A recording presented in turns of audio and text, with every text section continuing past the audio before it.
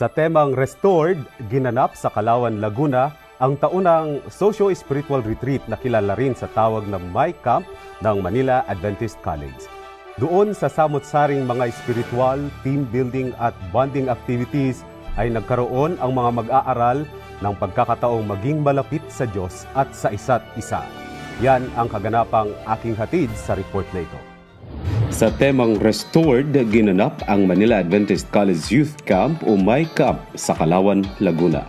Ito ay dinaluhan ng mahigit tatlong daan at limampung mga estudyante at mga guro ng MAC.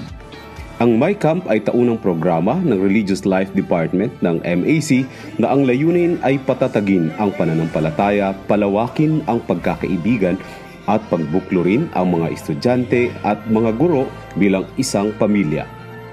Nagkaroon ng mga building activities, Bible Amazing Grace, breakout session and group sharing, social night and pool activities at commitment service at marami pang iba. Ito rin ay isa sa mga natatanging programang kabilang sa academic journey ng bawat MACian na hindi nila malilimutan. Naging pangunahing tagapagsalita si Pastor Ponciano Ponch Kujamat, isang life and family coach.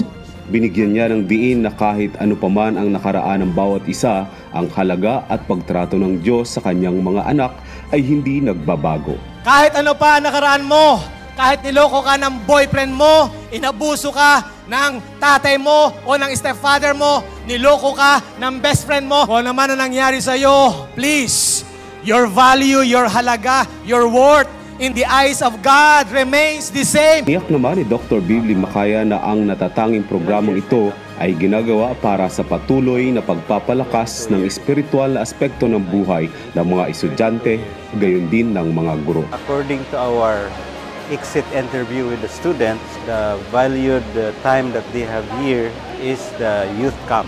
Pinatotohanan naman ng mga dumalo na tunay ngang sila ay pinagpala ng My Camp na ito. We're sort of like a small family here at camp, and I just hope it continues even after the camp because I really, really enjoyed. I feel like I actually belong.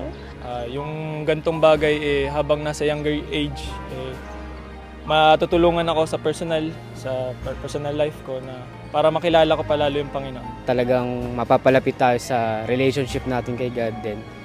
Marami din tayong uh, may kilalang bagong kaibigan. Because of my camp, we are restored. We love my camp! Ilang bagyo, gaano man kalakas ang mga lindol na dumating sa kanilang buhay.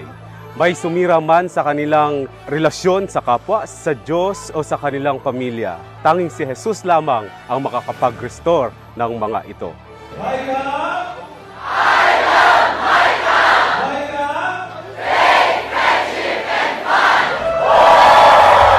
Layunin magatid ng mga balitang may dalang pag-asa, Rodel Omaya na nag-uulat para sa Hope Today and PUC News Live.